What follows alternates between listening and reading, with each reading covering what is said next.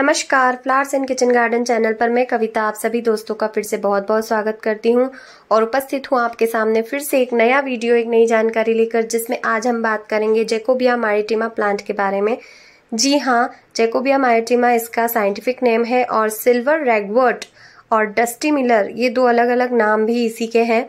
इस नाम से भी ये प्लांट जाना जाता है और ये एक पेरेनियल प्लांट है और ये एक बहुत ही खूबसूरत सिल्वर कलर का प्लांट है। जैसा कि आप देख ही रहे हैं, इसकी लीव्स कितनी प्यारी और कितनी वेरीगेटेड है। अगर आपको किसी भी एक कॉर्नर को डेकोरेट करना है और उसे अट्रैक्टिव बनाना है तो इसके कुछ प्लांट्स ला करके लगा दीजिए या प्रोपोगेट किए हुए प्लांट जो भी हैं आपके पास डेकोरेट कर दीजिए। वो कॉर्नर या वो जो जगह आप डेकोरेट करना चाहते हो, बहुत ही खूबसूरत हो जाएगी। अगर इस प्लांट को आप नाइट में देखेंगे अपने गार्डन में जाकर के तो ये बहुत ही अलग ही तरीके से शाइन करता हुआ दिखेगा। बाकी के कोई प्लांट नज़र नहीं आएँगे, लेकिन ये प्लांट ज़रूर नाइट में भी आपको नज़र आएगा और डे में तो आपके गार्डन में ये बना हुआ रहेगा ही रहेगा। वेलवेट की तरह की इसकी लीव्स होती हैं, जैसे कि अगर आप इसकी लीव्स को टच करेंगे तो ये वेलवेट का टेक्सचर देती हैं, बिल्कुल ही मखमली टाइप की होती हैं। इस प्लांट की हाइट की बात करें तो ये प्लांट देखिए, अभी तो कितना छोटा है, ये एक फिट का पौधा है। और मैक्सिमम एक फिट के गमले में ही लगा हुआ है। तो जितना बड़ा प्लांट है, उतना बड़ा ही पॉट होना चाहिए। पॉट साइज़ के बारे में भी हम बात करेंगे, लेकिन इस प्लांट की हाइट कम से कम तीन, साढ़े तीन फिट तक जाती है। तो ज़्यादा बड़ा भी नहीं होता है और ज़्यादा छोटा प्लांट भी नहीं है। तो आप किसी भी ऐसी जगह पे इसको डेकोरेट कर सकते हैं। इसमें फ्लावर्स भी आता है, लेकिन जब फ्लावर्स आता है ना तो इसकी लीव्स थोड़ी सी ख़राब होने लगती है तो बहुत से लोग तो इसके फ्लावर्स को हटा देते हैं ताकि प्लांट बना हुआ रहे, क्योंकि इसके प्लांट से ज़्यादा खूबसूरत इसकी लीव्स होती हैं और लीव्स ही इसकी सबसे ज़्यादा अट्रैक्टिव होती हैं। अगर आप इसे ज़मीन में लगा दें तो शायद इसकी थोड़ी और हाइट बढ़ जाए, लेकिन आपको अगर कोई एक कॉर्नर या एक जगह डेकोरेट करना है तो ये प्लांट सबसे बेस्ट ऑप्शन होता है। पॉट साइज़ की बात करें तो 8 इंच से लेके 12 इंच तक का गमला इसके लिए सफिशियंट होता है। अगर आप टेरेस या बालकनी गार्डनिंग करते हैं तो उसके लिए ये सफिशियंट है।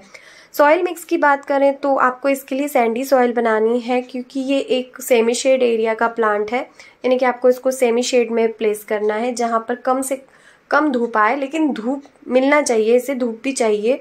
लेकिन कम धूप, कम मात्रा में धूप चाहिए। 50 परसेंट सैंड और 50 परसेंट गार्डन सॉइल और 20 परसेंट कंपोस्ट मिला के इसे एक बार लगा दीजिए। बस फिर ये साल भर तक आपसे कुछ नहीं मांगेगा। सनलाइट की बात करें तो सेमी शेड का ये प्लांट है। आपको सेमी शेड एरिया में रखना है। अगर आप इसे ग्रीन नेट प्रोवाइड कराते हैं तो काफ़ी अच्छे से ग्रोथ करेगा। वार्म वेदर इसे बहुत पसंद है। इसे लगाने का सही समय होता है फरवरी से लेकर नवंबर तक। ये पेरेनियल प्लांट है, लेकिन फिर भी ये प्लांट विंटर में थोड़ा सा रुक सा जाता है, अपनी ग्रोथ रोक लेता है, लेकिन कोई भी इसकी पत्ती वगैरह खराब नहीं होती है।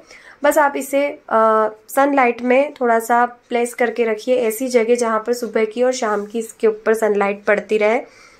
इसके ऊपर कीड़े की अगर हम बात करें तो इसके ऊपर वैसे तो कोई कीड़ा लगता नहीं, लेकिन व्हाइट फ्लाइज का अटैक या ब्लैक एफिड्स का अटैक कभी हो भी जाए, आपको ऐसा लगे तो आप नीम ऑयल का यूज़ कर सकते हैं और इसके ऊपर से सारे कीड़ों को हटा सकते हैं। फर्टिलाइज़र की बात करें तो साल में एक बार आप कंपोस्ट दे दीजिए या गार्डन में मैं जब भी अपने सभी प्लांट्स में कंपोस्ट देती हूँ तो अपने इन प्लांट्स में भी दे देती हूँ। किसी को छोड़ती नहीं हूँ, लेकिन ये इंडोर प्लांट है तो इसको साल में एक बार ही फर्टिलाइज करें तो ज़्यादा ठीक होगा।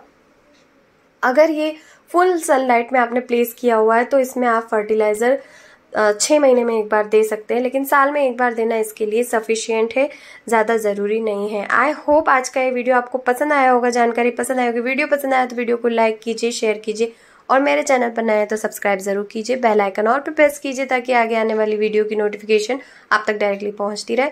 मिलते हैं नेक्स्ट वीडियो में, फिर किसी नई जानकारी के साथ, तब तक के लिए बाय टेक केयर जय श्री कृष्णा।